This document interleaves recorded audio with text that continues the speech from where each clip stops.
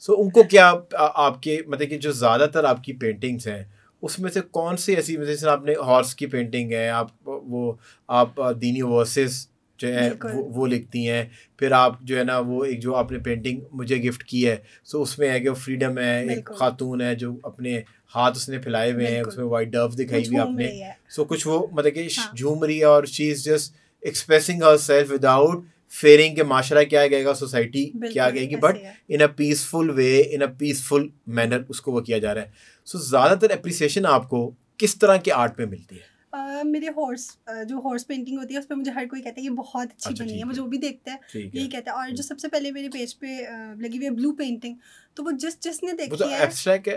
वो abstract painting नहीं है ऑयल पेंटिंग है। ऑयल पेंटिंग है उस पे बहुत ज़्यादा मुझे सबने कहा कि बहुत मतलब मास्टर क्लास पेंटिंग है। हम्म। और एक वो जो एब्स्ट्रैक्ट वाली पेंटिंग है फेस हम्म। वाली वो भी एक अभी so, तक का मेरा सबसे ज़्यादा सेल होने वाला प्रोडक्ट भी वही है। एब्स्ट्रैक्ट एब्स्ट्रैक्ट अच्छा एब्स्ट्रैक्ट ही वो है। जी अच्छा फिर क्योंकि आर्टिस्ट के हवाले से अगर बात करें आर्टिस्ट हमेशा आर्टिस्ट तो अच्छा होता है। हम्म। बट उसको कमर्शलाइजेशन वाला एस्पेक्ट नहीं आता। मतलब कि उसको अपने आर्ट से बिज़नेस के अंदर जाना नहीं आता। पर I was going through my team was going through your page तो आपने प्रॉपर स्टेप्स जो है ई कॉमर्स वाले उसके अंदर लगाए हुए हैं। आपने उसके अंदर बॉट लगाया हुआ है कि वो आपको ऑटोमेटिकली रिप्लाई आता है। फिर आपको प्रोडक्ट जिस तरह आपको कपड़े की हम्म। के इंस्टाग्राम पे तो वो आपको वेबसाइट पे लेके जाएगा। वेबसाइट से फिर आपको ऑर्डरिंग पेज के ऊपर लेके जाएगा। Then there a proper software for communication so ये ख्याल आपको कब आया और ये बिज़नेस ये खुद ही से आपने बिज़नेस अपनी एस्थेटिक्स डेवलप किए। और फिर आपने वो सारी चीज़ें करते सीखते सीखते इंसान मैंने बताया ना सीख जाता है हम्म। थोड़ा थोड़ा से स्टार्ट किया हम्म। थोड़ी हाईलाइट्स बनाई पता चला किस तरह से पेज को प्रमोट करते हैं हम्म।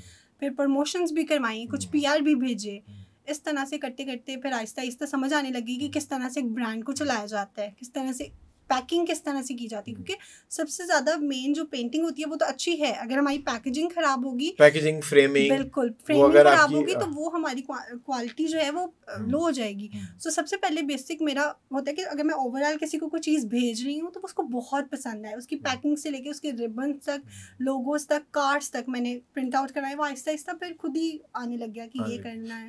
आपको क्या लगता है कि आर्टिस्ट के लिए कमर्शलाइजेशन जो है कमर्शलाइजेशन से मुराद ये है कि फॉर एग्ज़ाम्पल मुझे आपको आपने अपनी बात की आपको कैट्स पसंद है।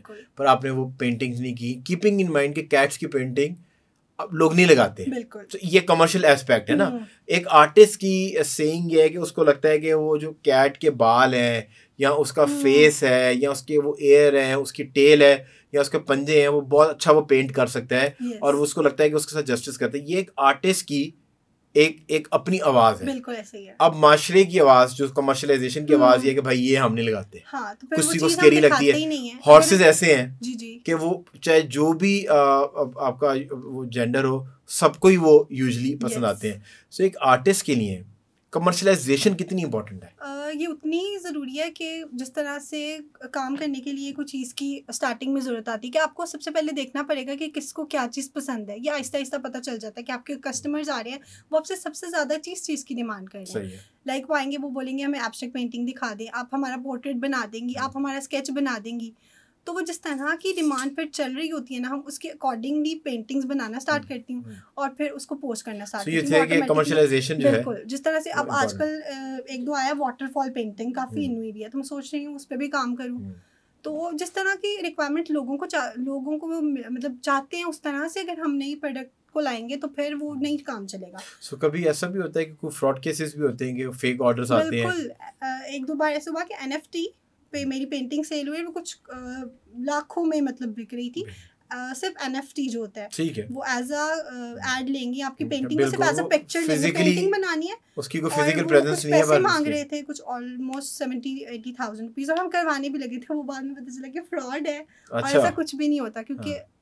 फिर पता करवाया और फिर वो शुक्र है बच गए इसके बाद एनएफटीज का भी दे आस्किंग कि वो 70000 एज अ फ़ी बिल्कुल। और फिर आप अपनी आपको वो स्पेस देंगे जहाँ पर आप अपना एनएफटी क्रिएट हाँ, कर सकें देन पीपल कैन बाइट तो वो एनएफटी वाली जो प्रोसेस था वो फ्रॉड था। पर आपको कभी uh, मतलब अपने पेज पे कोई फेक आते हैं uh, और लोग जो है ना आपकी कैश ऑन डिलीवरी है?